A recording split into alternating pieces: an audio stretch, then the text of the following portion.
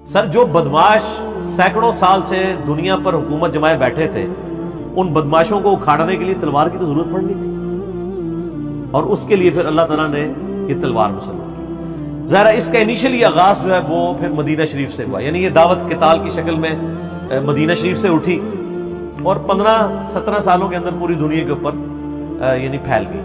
आप देख लें कि हिजरत मदीना हुई है यकम हिजरी में। उस वक्त सिर्फ़ 125 बंदे मुसलमान थे। दो हिजरी में गजबा बदर हुआ, कितने मुसलमान थे? 313 तीन हिजरी में गजबा ओहद हुआ, कितने मुसलमान थे? एक हज़ार। उनमें से भी 300 वो मुनाफिकीन ही थे 700 मुसलमान थे। फिर पाँच हिजरी के अंदर गजबा खंदक हुई छह हिजरी के अंदर सुलह हुदैबिया हुई, सात हिजरी में गजब खैबर हुई, आठ हिजरी में फतेह मक्का हो गई और आठ हिजरी में गजब हुनैन हुई है मुशरकिन अरब के खिलाफ आखिरी फैसला कुन जंग और नौ हिजरी में गजब तबूक हुई, जो यानी रोमन अंपायर को नज़र आ गया था कि ये तो नई अंपायर खड़ी हो रही है तो कैसरे रोम ने जो अरब की सरजमीन थी, तबूक उसके पास बॉर्डर पे आके डेढ़ लाख की फौज यानी खड़ी कर दी और कहा कि हम तो ये इसको, ये नई जो सुपर पावर बन रही इसको दबाएँ। तो ये पहला और आखिरी मौका था जब अल्लाह ताला के महबूब सल्लल्लाहु अलैहि वसल्लम ने ये अनाउंसमेंट की कि अब जो शख्स किताल में नहीं जाएगा, वो मुनाफिक तस्वुर किया जाए। इससे पहले ये शर्त नहीं थी। तीस हज़ार जानसार सहाबा का लश्कर लेकर, जिनमें मुनाफिकीन भी शामिल थे, जो कानून मुसलमान थे, नबी इस्लाम जो है वो तबूक तक गए।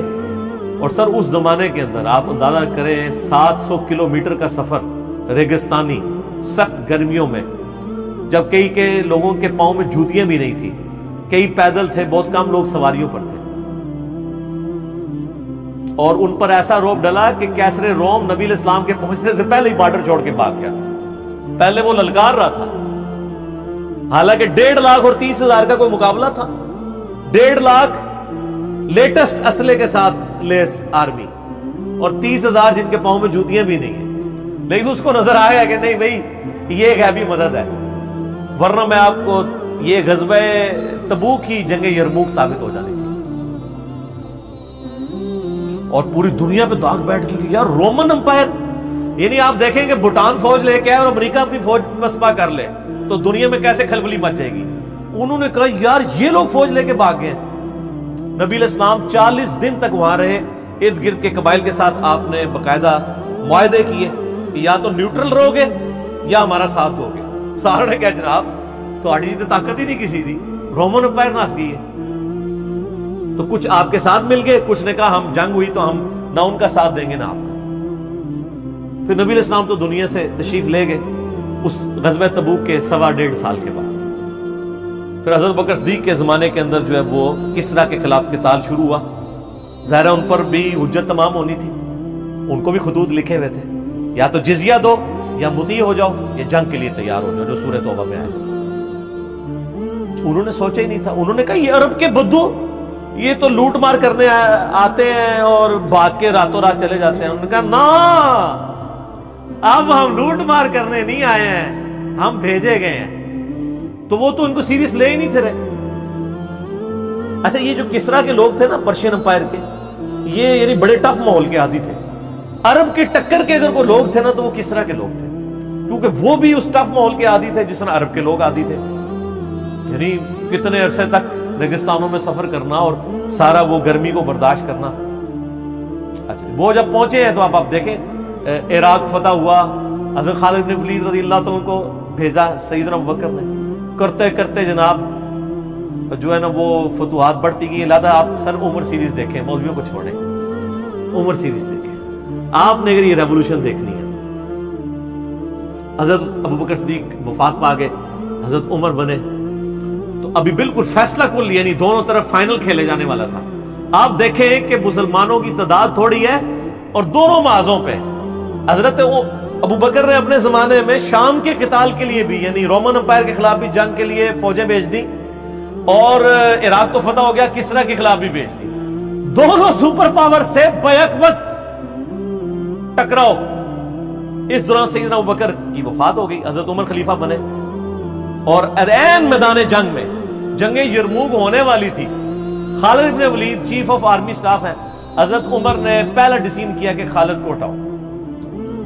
और जनाब खलबली माची, उन्होंने क्या जनाब, सारी फतवात खालिद ने की थी उन्होंने क्या मैं थोड़ी यही बुत परस्ती तोड़नी है। मैंने तुम्हारी यही शख्सियत परस्ती तोड़नी है। ये खालिद की वजह से नहीं हुई है फतह। ये खालिद के रब की वजह से हुई सर, आप सोच सकते हैं कि बिल्कुल फाइनल मैच के अंदर कैप्टन को हटा दिया जाए। ये हज़रत उमर का कॉन्फिडेंस था। अबू उबैदा इब्न जरा को भेजा। यरमूक के लिए। और चार दिन तक जंग जारी रही, अल्लाह ताला ने मुसलमानों को फतह दी। और जो किस, जो कैसर था, रोमन अंपायर का जो हेड जो सदियों से वहाँ बैठा हुआ था, शाम के अंदर, बैतुल मकदस को उन्होंने मेन सिटी छोड़ के चला गया वहाँ से। दोबारा नहीं आ सका। और दूसरी तरफ़ इसके फ़ौरन बाद, उसी साल में, जिस साल ये यानी यरमूक हुई है ना, ये सत्रह हिजरी के अंदर, उसी साल जंगे जो है वो कादसिया भी लड़ी गई। अब ज़ाहिर मुसलमान पास फौज थोड़ी थी। कादसिया असल में एक मुसलमानों का इम्तिहान था। कि लाखों का लश्कर लेके वो रुस्तम पहलवान आ गया। तो फिर हज़रत उमर ने बकायदा खत लिखा वहाँ से कि तुम वहाँ से फौज जो है ना, कुछ हिस्सा यहाँ पे भी ट्रांसफ़र करो ताकि और यहाँ से अब तय पाया कि अब किसको कादसिया के लिए किसको लीडर आ जाए। हज़रत उमर ने डिसीज़न किया कि मैं खुद जाऊँगा कादसिया के लिए, क्योंकि ये बहुत फैसला कुछ जाके। यरमूक चुके मुसलमान जीत चुके थे तो उसकी वजह से जो पर्शियन अंपायर है, उस पर रोप पड़ गया था कि जनाब अमरीका तो नस गया जो हूँ रशिया की बारी है। तो रशिया तो रोप पै गया, जिस तरह आज रशिया और अमेरिका। सईद उमर ने कहा, मैं खुद जाऊँगा। हज़रत अली ने कहा कि नहीं। ना! आपने नहीं जाना। सर, ये नाम पता नहीं कहाँ कहाँ है। उनका, हज़रत, आपको कुछ हो गया तो पीछे क्या बनेगा? अगर खुदा न खास्ता मुसलमान कादसिया में शिकस्त भी खा गए तो आप पीछे तो होंगे ना। हम और अरब कबाइल को जमा करके नई खेप रवाना कर देंगे, एक और फैसला को जंग लड़ लेंगे। और अगर आप शहीद हो गए तो मुसलमानों का शराजा बिखर जाएगा। और सर, ये सेम जो खुतबा है ना, ये नाजुल बलागा में भी शिया की किताब के अंदर मौजूद है, जो मैंने एच डी कैमरे में दिखाया तो सईदना उमर फिर रुक गए। फिर मशवरा हुआ, किसको भेजा जाए? अब बाकी सीनियर से भी तैयार थे, हज़रत अली जाने के लिए बाकी। हज़रत उमर जो है ना, वो सीनियर लोगों को अपने से दूर नहीं करते थे। वो कहते थे, नहीं तुम लोग तो मुझे मशवरा देने वाले हो, तुमको तो मैं तुम्हें यहाँ से नहीं जाने देना। बारल तय पाया कि जी, ये जनाब, शेरों के मुकाबले के लिए शेर को भेजा जाएगा। साद इबन अभी वकास साद शेर को भी कहते हैं। अरबी में। शेर को भेजा जाए। साद इबन अभी वकास रदी अल्लाह नबी इस्लाम के मामू भी थे रिश्ते में। यानी वो, नानके खानदान से रिश्ते में मामूल है। साद अपने वकास को, हज़रत उमर ने भेजा और फिर साथ एक खत भी पीछे से रवाना किया कि साथ इस बात पे ना करना कि तू अल्लाह के नबी का मामू है। याद रखना, अल्लाह का कोई रिश्तेदार नहीं है। आय आय अल्लाह का कोई रिश्तेदार नहीं है। खुदा के साथ कमिटमेंट शो करनी है अपनी। बुजदली नहीं दिखानी। और फिर सर साद इबन वकास अगरचे वहाँ जाके बीमार हो गए, किले में थे, खुद तो लड़ नहीं सके, लेकिन पूरी प्लानिंग उन्होंने की। चार दिन के अंदर अल्लाह ताला ने मुसलमानों को जंग कादसिया में फतह ता फरमाई।